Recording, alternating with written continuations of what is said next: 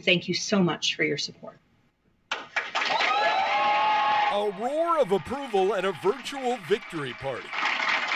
They're still counting a few remaining ballots in Abigail Spanberger's sprawling congressional district in central Virginia. Like the nation, it is a sea of red with islands of blue. But with the help of the populous suburbs near Richmond, the first term Democrat is on track to eke out a narrow 1% win.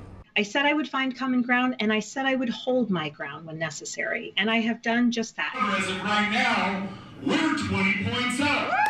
Republican challenger Nick Freitas was way up on election night, but late counting absentee votes swallowed the margins of a candidate analysts say had bound himself closely to the president. Trump has so deeply alienated suburban areas and particularly suburban women that it is going to be increasingly difficult for a certain type of a hard right or Trump supporting Republican to get elected in any district that's suburban or urban. The seventh was held for 13 years by Eric Cantor, the Republican majority leader. He was primaried by David Brat, who ran to Cantor's right.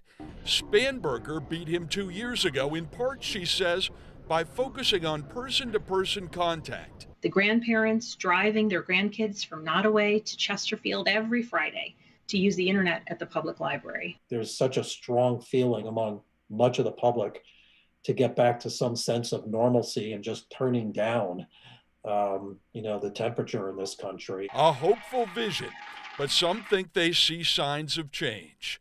Bruce Leshan, WUSA 9.